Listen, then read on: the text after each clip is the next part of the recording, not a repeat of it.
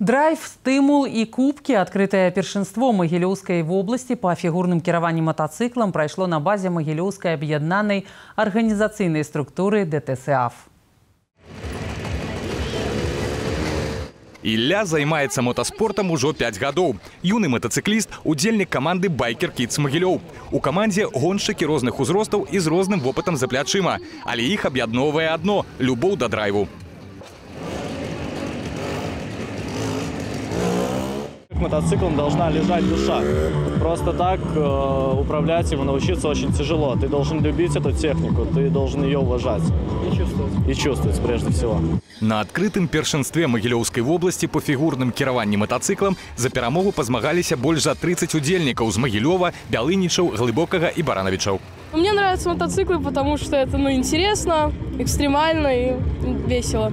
Это драйв, это эмоции. У меня дедушка раньше был связан с мотоциклами, мне это на самом нравится. Я тут с сентября уже вторые соревнования. Но те были просто наши, а эти вот самые уже глобальные, в которых я побывал. Матацыклісты ўдзельнічаюць у дзвюх узроставых катэгорыях ад 14 до 17 гадоў і старэйшыя за 17 гадоў. Галоўная мэта правядзення такіх спаборніцтваў папулярызацыя мотаспорту сярод дзяцей і моладзі.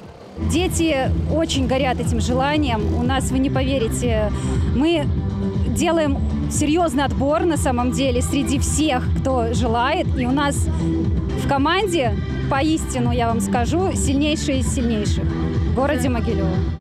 Такія маштабныя спаборніцтвы Магілёўская абласная арганізацыйная структура ДТСАФ праводзіць рэгулярна.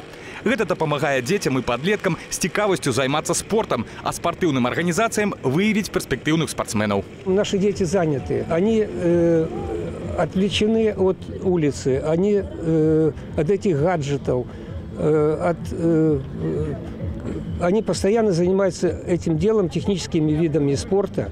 Они крутят гайки, они увлечены этой э, работой, и я считаю, что это очень хорошее подспорье и подготовка к службе в армии. Пераможцаў у асабістым і камандным заліках узнагародзілі кубкамі, медалямі і падарункамі.